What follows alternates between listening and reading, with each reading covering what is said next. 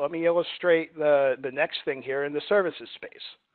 So one of the things that we're able to do now with this portal is to, as I said, open doors to different groups. So we have the ability to open up service requests to see where something is in process, to see who's assigned, to see what is going on with a particular service, and actually even to request a service.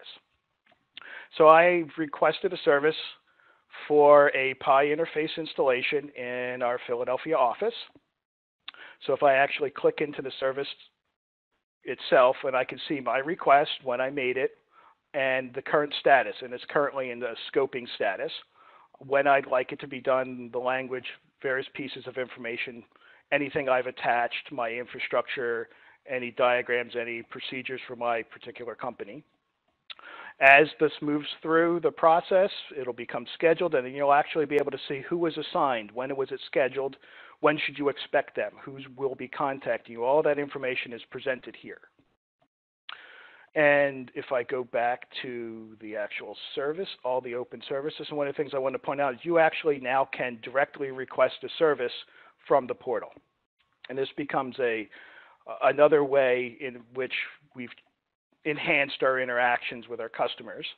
You can see I can pick certain types of services I can request here. These are mainly your installation and training services.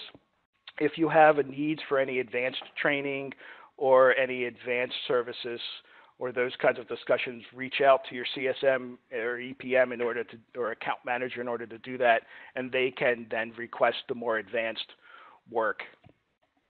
One thing to note here is I'm going through, let me pick up, uh, I want to do an interface installation. You'll also see here the data sheets for all the installations that give you, and I'll click in through here, that give you the data sheet and the things that you can expect us to do, the approximate timelines, our requirements, so you understand up front what we'll be asking you for as we go through a scoping exercise.